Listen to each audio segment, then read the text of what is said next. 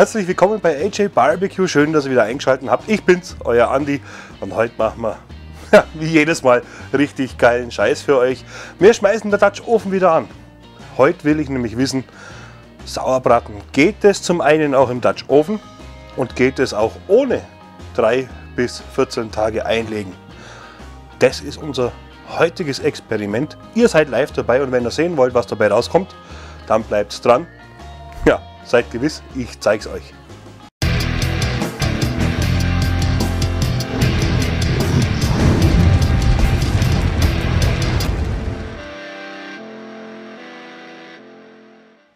Für unser heutiges Rezept brauchen wir hier natürlich unseren Hauptdarsteller, ein wunderschönes Bürgermeisterstück. Schaut euch mal äh, an, wie schön das marmoriert ist, ein kleiner Traum.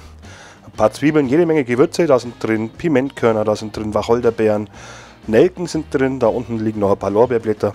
Das hier, das ist Soßenkuchen, Salz, Pfeffer, Wasser, Rinderbrühe, Weißweinessig und natürlich wie immer was zum Stärken. Starten wir mal heute mal mit unserem Anzündkamin. Da sind jetzt 24 Briketts drin, die ich zum Glühen bringe. Der Dutch Oven stellen wir gleich oben drauf, dass der heiß werden kann. Und wir schneiden jetzt einfach mal rückzug die Zwiebel. Mehr haben wir schon nicht zu tun. Das wird heute ein richtig regelrechtes Blitz Sauerbratenrezept. Lasst euch ruhiger mal überraschen. Im Dutch Ofen, der schon heiß ist, habe ich jetzt das Wasser drin, die Zwiebeln, der Essig ist reingekommen, Zucker gebe ich mit rein und logischerweise die ganzen Gewürze. Das lassen wir kurz aufkochen, so dass sich einfach nur der Zucker auflöst und dass sich diese ganzen Aromen richtig schön miteinander verbinden, dass das eine richtig schöne, intensive Beize wird. Dann nehme ich die Beize raus, sobald das ein bisschen kocht hat und putze mir den Dutch Ofen. Das mache ich, weil da müssen wir jetzt logischerweise noch schnell das Fleisch anbraten, gell? Und schaut euch jetzt einmal dieses wunderschöne Stück noch einmal an. So manches Steak würde sich nach, nach einer solchen Marmorierung ohne Schmarrn die Finger lecken. Wahnsinn! Ähm, gewürzt habe ich es logischerweise noch nicht. Das kommt jetzt dann erst im Nachgang, wenn wir es ringsherum anbraten haben. Und würzen tue ich ausnahmslos nur mit Salz und Pfeffer. Mehr braucht dieses Stück nicht. Die restlichen Aromen kommen aus der Beize. Vergesst den Stoß nicht. Ja, und dann ist es schon soweit. Wir können die restlichen Zutaten wieder in den Dutch Oven zu unserem Fleisch bringen. Das hier, das war jetzt die Rinderbrühe, dann kommt die gesamte Beize da rein. Ja, und jetzt dauert das Ganze insgesamt drei Stunden. Alles cool. Ähm, das wird regelrecht, regelrecht geiler Scheiß. Ein Blitz Sauerbraten. Sobald es kocht im Dutch Oven, wird natürlich der Deckel zugemacht und der Dutch Ofen stand umgebaut. Ich gebe neun Kohlen unten rein, die restlichen oben auf den Deckel. Und wie gesagt, Insgesamt drei Stunden, aber in zwei Stunden sehen wir uns wieder. Da geht es nämlich mit dem nächsten Arbeitsgang weiter.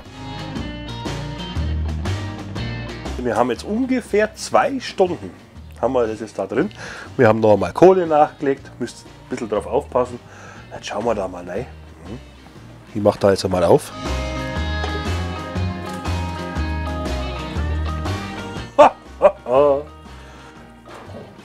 Da blubbert es vor sich hin.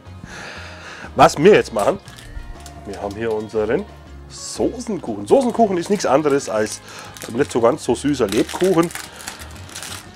Ihr könnt auch ein Schwarzbrot nehmen und den bröseln wir da jetzt richtig schön rein. Der bindet uns diese Flüssigkeiten, dann haben wir später eine richtig schöne, feine Soße.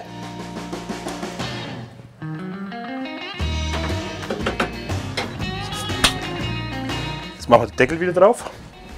Ja, da ist er. Geil. Und dann lassen wir das nochmal, ja, eine Stunde wird es schon noch brauchen. Dann lassen wir nochmal eine Stunde vor sich hinköcheln und dann, dann geht es ans Eingemachte, dann essen wir.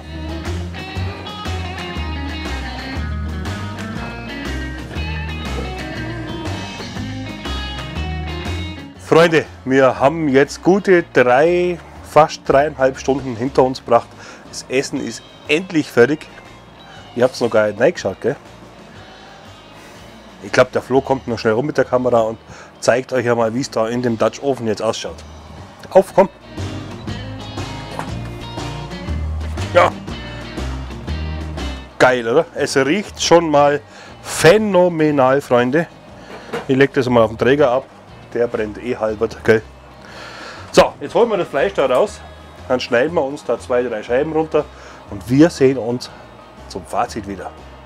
Bisher habe ich euch gezeigt, wie ich es gemacht habe, aber der Sauerbraten hat natürlich auch ein Originalrezept.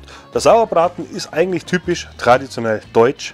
Was der Sauerbraten immer gemein hat, ist, dass er erst eingelegt wird in einer Beize. Die Beize besteht meistens aus Wein oder Essig oder beides gemischt. Und das bewirkt einfach, dass die Muskelfasern, die Sehnen, das Bindegewebe, das wird zersetzt. Der wird drei bis 14 Tage teilweise wird der eingelegt, 10 bis 14 Grad warm.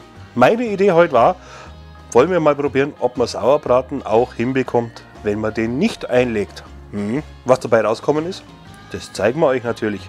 Traditionell gibt es bei uns natürlich auch hier Blaukraut und Knödel, den wir im Grill ein bisschen aufknuspert haben. Ganz eine tolle Nummer. Wir sind ja jetzt endlich auch fertig, deswegen werden wir jetzt einmal probieren. Also riechen tut es fantastisch, habe ich glaube schon während dem Video ein paar Mal erwähnt. Und Konsistenz, mei.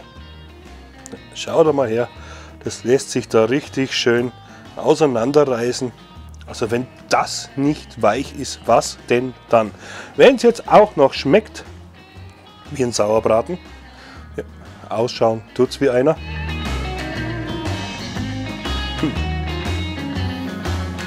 Es riecht wunderbar nach Rindfleisch.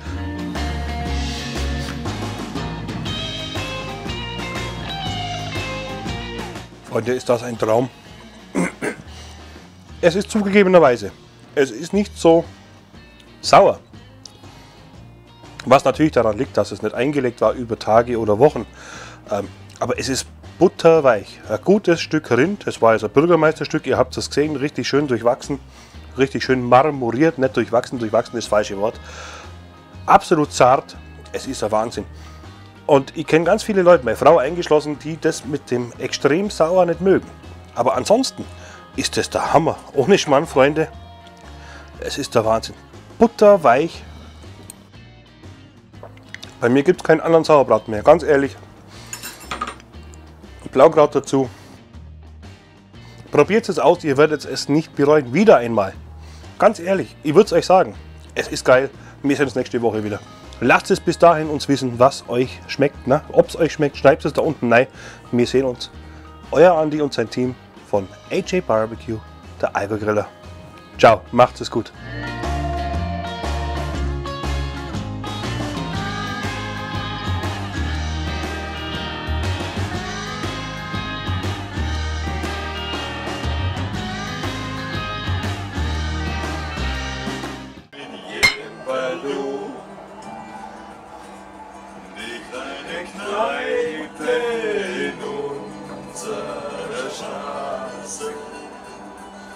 Da wo das Leben noch lebenswert ist.